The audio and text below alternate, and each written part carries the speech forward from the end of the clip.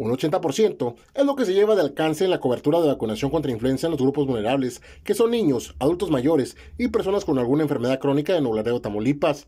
Ante esto, piden a la ciudadanía el acudir a vacunar contra la influenza de estos grupos, ya que por la temporada de invierno se incrementan las enfermedades respiratorias.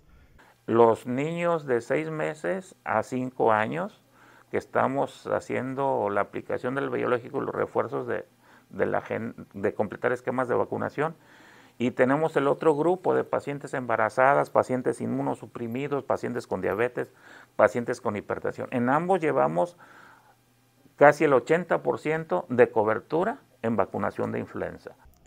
Los ciudadanos aseguran que es importante el vacunarse contra la influenza para estar más protegidos. Pues es muy bueno y más para la población pues más desprotegida. Y es bueno porque ahorita estas temperaturas, estos cambios, pues sí hace falta que la gente acuda. Que pues han aumentado bastantito los casos, hay que estar vacunados en contra de la influencia para evitar que se propague más eh, el COVID. Además, las autoridades de salud están vacunando también a otros grupos vulnerables, ya que es importante cubrir la meta de inmunización. Ahora, también estamos vacunando a las personas que no cuenten con alguna enfermedad concomitante o que no sean menores de esa edad.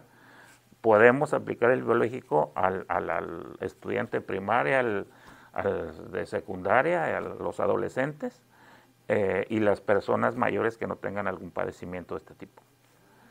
Cabe mencionar que en la temporada de invierno aumentan las enfermedades respiratorias en un 30%. Por imágenes de Gil Rodríguez para ERN Noticias, Abdiel Pérez Ibarra.